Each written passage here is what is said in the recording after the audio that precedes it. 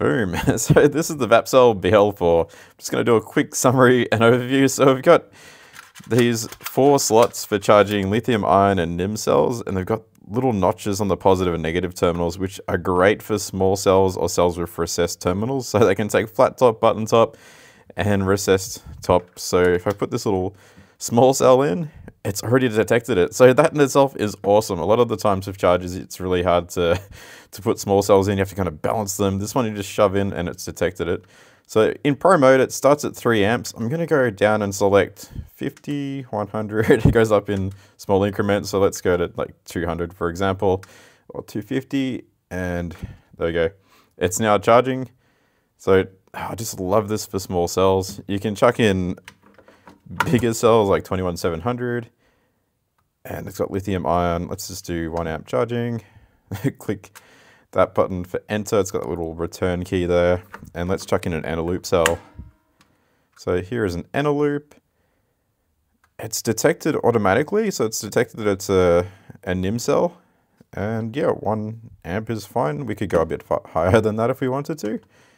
So 250, 500, 750, 1 amp. Actually, no, it's limited to 1 amp with these other cells. I think if I take these out, let's try it again if we're not charging everything, yeah, then we can do 2 amp charging with the NiMH cells, which is pretty cool. So let's do a quick overview of the different modes. So in Pro mode, we can change the battery type. It's detected NiMH though, so let's change the mode. We got uh, test, storage, storage, that's the typo on the first batch, discharge, and repair. So if it's like a really low voltage, like 2 volts for a one of these 3.7 volt cells, you can get them up again using a small current. It won't work all the time. So like a damaged cell, I'm pretty sure this damaged cell won't, won't work. So yeah, this one's just completely damaged and that's just not gonna work because it's broken.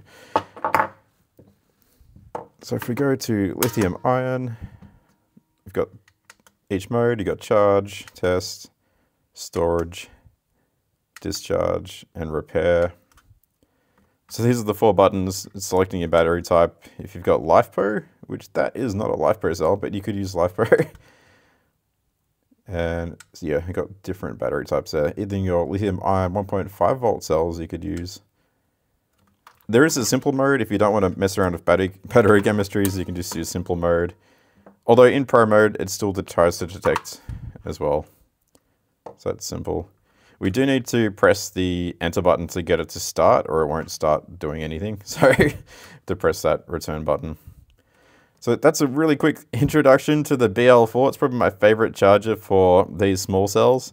And yeah, it's great for different types of batteries. It has USB-C input. It's got USB-C output, which I'm, I'm probably never going to use that, but it's got USB-C input, which is great. And a nice big display showing you the voltage, the current, and the capacity. It's also got the percentage of charge, which is relative to like whatever it is, 4.2 volts is the full. And you've got the internal resistance measurement there, or watt hours. You've got milliamp hours and watt hours, if you prefer that version.